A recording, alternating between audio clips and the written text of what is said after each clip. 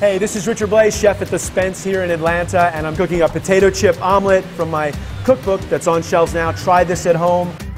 Potato chip omelet, we're talking about the ultimate sort of hangover snack, perhaps. So, um, you know, people are familiar with a potato omelet, and all we're doing is using potato chips uh, to really make it more delicious, you know, and, and quite possibly for the home cook easier. All right, so we're gonna throw in our eggs.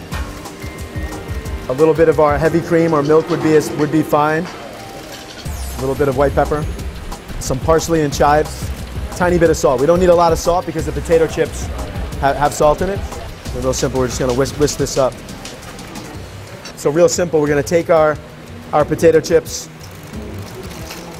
and we're gonna dump them into our batter. If you wanted to at home, you could let this sit overnight if you wanted to. All right, so we have our mixture there, potato chips, the herbs, the eggs, a little bit of salt and pepper, but it's, it's as simple as now just getting this mixture